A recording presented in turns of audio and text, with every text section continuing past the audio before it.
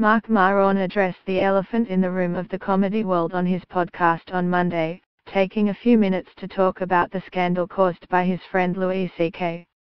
Speaking for the first 20 minutes of his hour and a half long show, Maron revealed that he had heard the rumors about CK's sexual misbehavior going back several years. But he says when he confronted the stand-up comic about the rumors, CK lied to face. Scroll down for video. Marc Maron, left, addressed the scandal involving his friend Louis C.K., right, on his podcast on Monday. There's a lot of concern about who knew what, when, Maron said. Sadly, I knew what most people knew. There was a story out there. Maron said he had heard a rumor about how CK masturbated in front of unnamed people in an Aspen hotel room some years ago. He says he asked CK if the rumor had any merit and his friend told him it was a complete fabrication. I would say, this story about you forcing these women to watch you jerk off, what is that? Is that true? He goes, no it's not true, it's not real, it's a rumor. And I would say, well are you going to address it somehow? What do you do to handle it, to get out from under it whenever it shows up?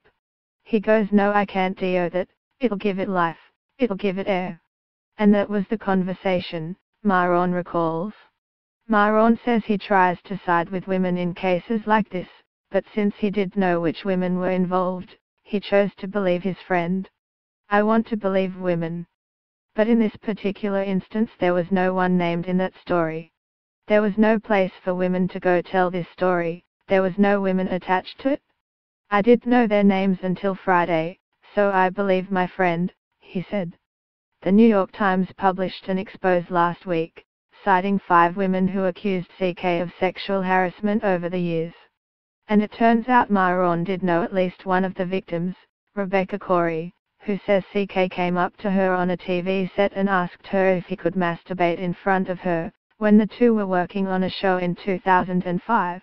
Maron then went into a long speech about how men tend to lack empathy with the trials that women face in the workplace. He also recalled a situation he had been in, in college, when a male professor kissed him after taking him out to dinner. Maron looked up to the professor and thought that he was mentoring him, and was left paralyzed after the unwanted kiss. That experience has made Maron emphasize with the scores of women coming forward and accusing CK. Maron gets emotional near the end of the interview, his voice breaking, as he talks about his intention to continue being a friend to CK. I am disappointed in my friend. He did some gross S asterisk asterisk asterisk, some damaging S asterisk asterisk asterisk, and people are like, how are you gonna be friends with that guy?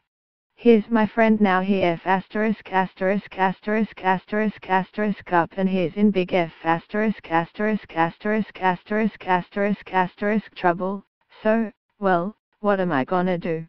I am just, I am gonna be his friend. What do you want me to do? I mean it's probably the best time to be his friend, when he needs to make changes in his life. I can learn from it, he can learn from it, I hope, Maron said. Alright folks, let's do this.